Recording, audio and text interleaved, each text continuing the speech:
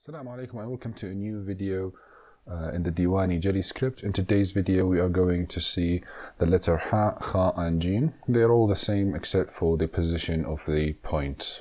Now we will start with four points of width to give us a guide on how to move. And for this letter we are going to hold the pen in a slight uh, slanted way just like we did for the Aleph, this one. So with the same one, we are going to hold the pen, but what we are going to do is to move in a two curve way. So the first curve would be the, the first curve would be going to the left, and the second one would be going back to the right. And we basically put those four dots up here so that we could know how wide the head of the hat would be.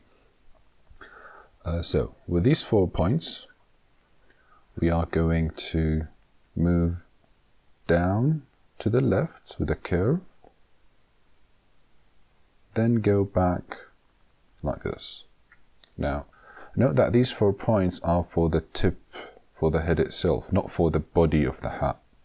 The body of the hat will have to extrude for five points because inside we have five points of width for the hat.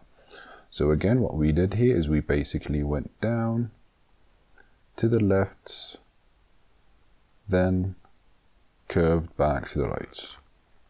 The whole width would be, as we can see here, 5 points, but the head would be 4 points. Now after finishing this, we have two options for the hat. The first shape would be to either go down, then back and up here, like this. We're talking about the body, so this is number one. Number two, which is the curve. Number three would be going up or we have the other option of going down and this move. So we've got one, then two. So we will start with the first option. And for that option, we have a five points wide body for the hat and one point of drop down here and one point of uh, height up here. It's kind of like the uh, thuluth in a way. So we start from here and could you see the angle that we started up here with? It's different here so we've got this one and we extrude from the same point just like we did with the Aleph. Now the curve, the first curve down here is sort of symmetric, it's easy. The second one on the other hand, you will have to curve the pen while going up this way to the right so that it will be smoother and higher. You will see that there's a difference between this curve and this curve, although they both go up to the same point. Now once you reach up here, you are going to go back with the tail and extrude up here.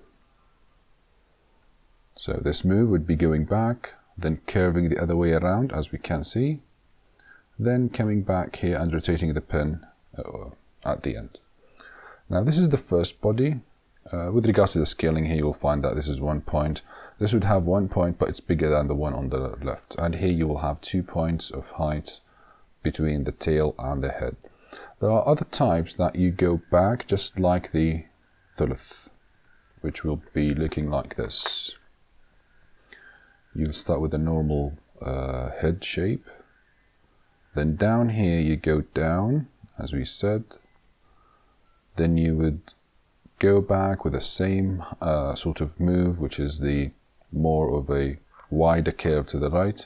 But when you come back here, you will straighten the pen and you will do the thuluth shape which is going down basically.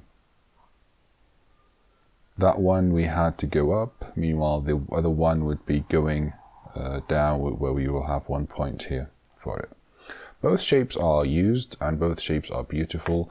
Now sometimes you would use this in order to continue writing so you are forced to go down or you could use this one if you wanted to go up for an Aleph. Anyway, now this is the first, second, and third moves. The fourth move is done with a different uh, pen size. As we said, we need a pen that is one thickness and another one that is third thickness.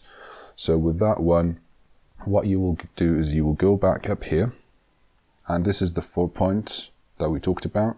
You're going to extrude from a from a distance like you see how it's all joined together, then it smoothly extrudes down here.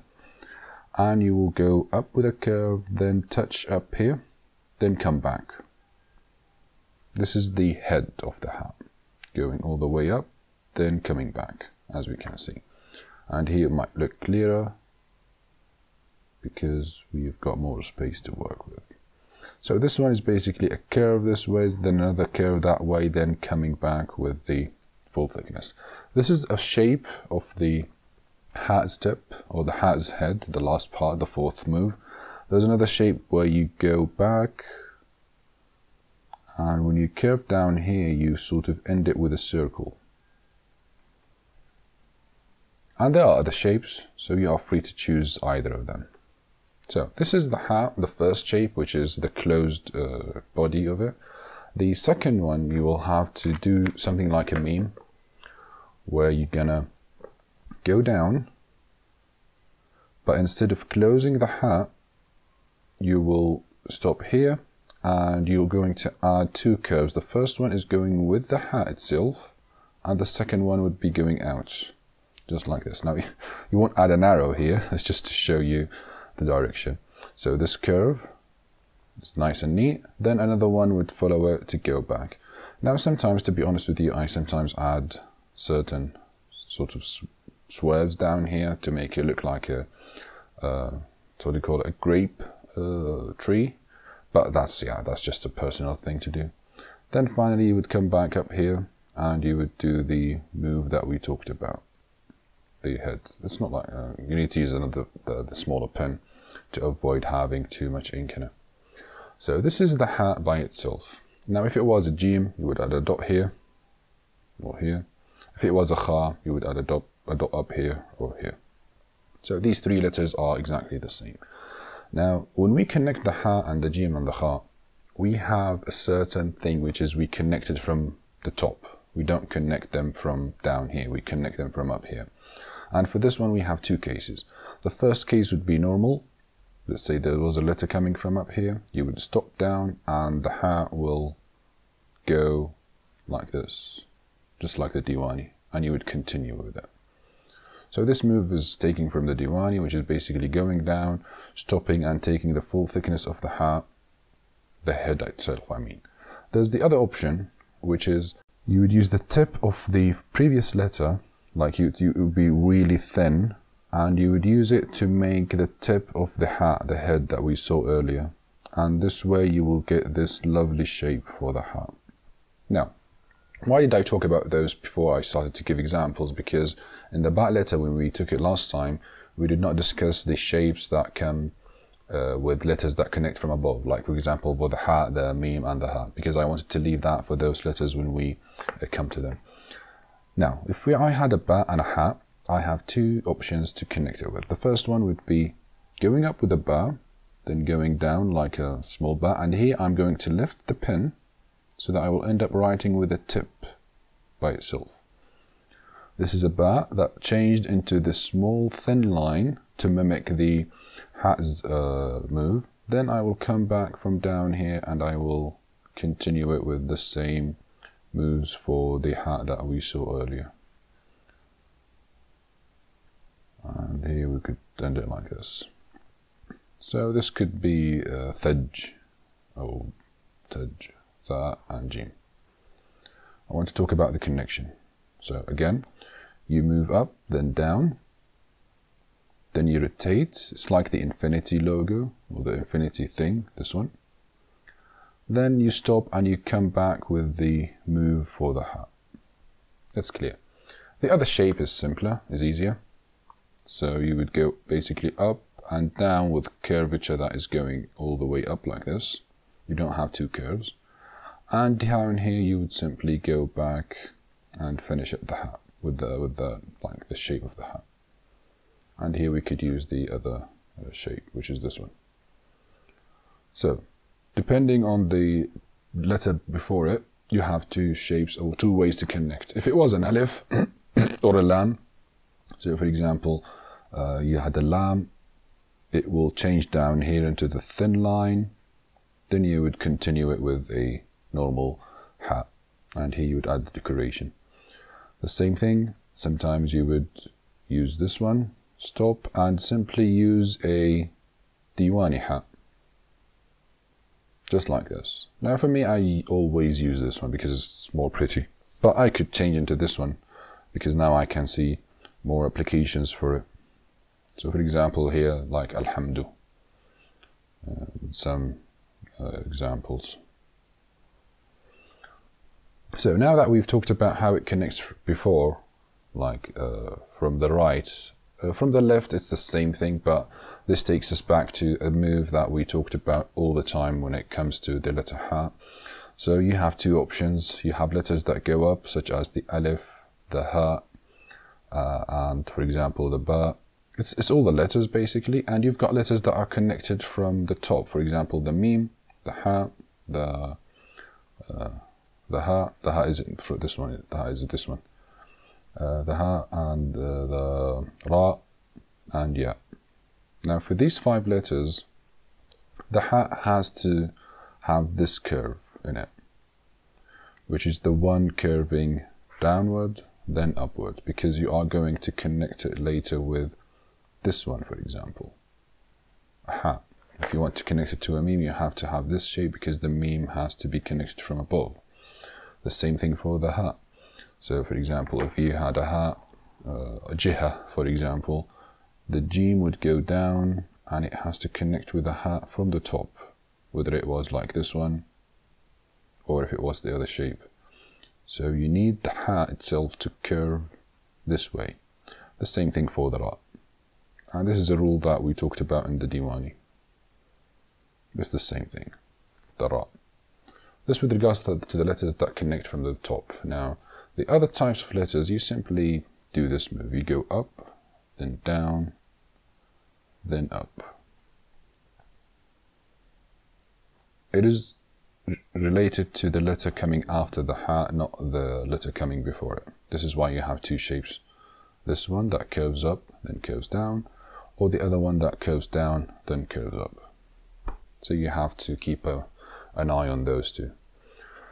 Now, we've uh, explained these things, how to connect it, and how it looks by its how it looks like by itself. Uh, let's try an example or two to see uh, them in like clearer idea. Now, I'm going to write hajib, which is a ha alif jim ba uh, word. Hajib means eyebrow. Now you could start first with the four points that we talked about so that you could see how big of a letter it is because uh, I did uh, some mistakes back in time where the hat head is really small. So you start from here with the same angle that we talked about with the alif.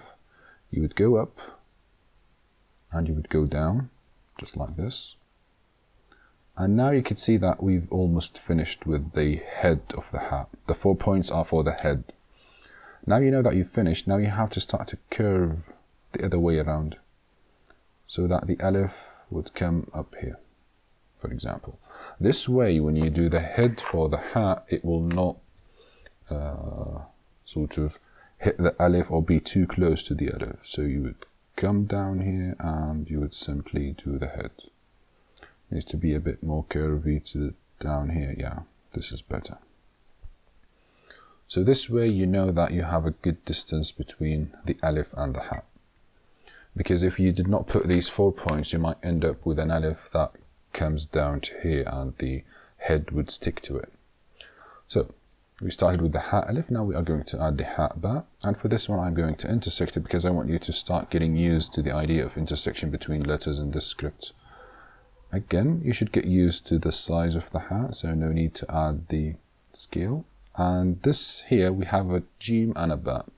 So I'm going to stop here again add my uh, head for the hat.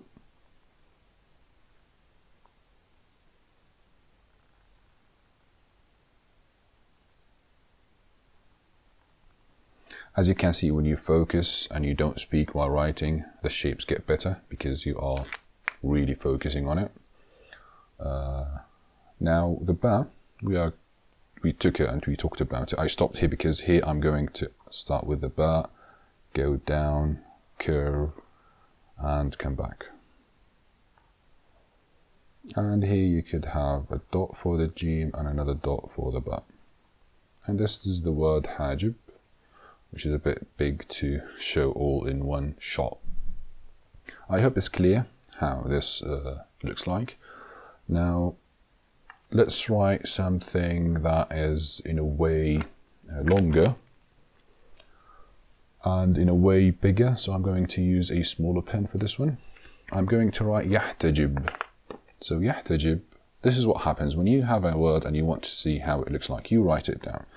So you think, I've got a ya and a ha, so I have to do this shape. You know what, I'm going to use this one because I like it. Ya. Then there's a ha and a ta after it, so I have to use this shape. Now this ta is followed by a jim. So I could use this shape, the other shape of the connection. Then I'm going to use the yahtajib. This jim, then this jim has to go back with a ba. So you see how you construct what shapes you're going to use based on what letters are connected to each other. So using this one, I start with the with the shape that goes to curves and goes thin, then comes back. And I know that from this shape I have to use this jim. And knowing that I'm going to use the other shape of the ta, I stop here and I immediately change the shape so that it will not affect the construction of the letter, of the word. Here I'm going to use this jim and it's tricky but you could make it bigger so that it looks better. And this one is too big so I could increase this decrease the size of it and here I'm going to make the bar a bit smaller than before because it's a long word. And there you go. You have a ya. You have a ta. You have a jim and you have a bat yeah did you now let's say that you wanted to make this part filled with something. What you have to do is simply use the rotation of the hat. So this is the ya. This is the hat and you have to use this, the full size. Then take this out here and connect it to the jim. So you could fill in the gap down here. Let's try it and see how it will end up. You have a ya going down to a hat and this hat will take this shape because we are going to write the full size one taking your space and your time doing it going up and here I'm going all the way back to a tap now this tap I have to take it down here so that it will contain the other hat the jim I mean and end up with a So this way you were able to fill in the gap next to the jim with a letter. And this is what Diwani about. You need to fill spaces with the letters themselves. Uh, try both of them. And with regard to this one, you could actually change it into the other shape if you want them to look all the same. So you came back with the uh, hat, you stopped here, you're going down, you change, you rotate, make it thin, come back and simply do the jim here. Now it's a bit hard, it's complicated for the first try, but try with the, the simple and the more easier letters. Now this with regards to the ya and the ha, if you had like uh, two has, hijab for example, you start with the normal ha down to the other one, the jim. Now the jim here you have the option of doing it thick or thin.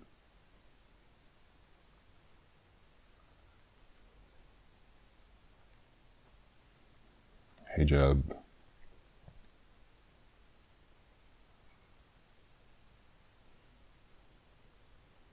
That's why I like this shape because it adds some some life to it. Because the other one could look the same, and again focus on the idea of using this shape because it's a hat connected to a jim. Uh, so yeah, you could use the other shape which goes down, then back up, then this shape would come back from here, and you would go up, and here's the head for the hat, and the ba, like the previous one, would come down here. So you have two shapes. I prefer this one because it adds some life, as I said before. And this one uh, you will see like a really Diwani one, the Diwani Jali sometimes. So you would see that they would stop here and they could add a Diwani shape down here. The jim would look like the Diwani one, which is this shape with a small nudge down here. Because it's a Diwani basically. And it looks good, there's nothing wrong with it. But I would use this if I ran out of space or I wanted to, to look more compacted. Uh, so yeah, this is for today's lesson. I hope you enjoyed it. And make sure to practice these letters before moving on to next classes. This has been Ammar Awawdeh. Like, share and subscribe to the channel and see you in the next class. Have a lovely day. Goodbye.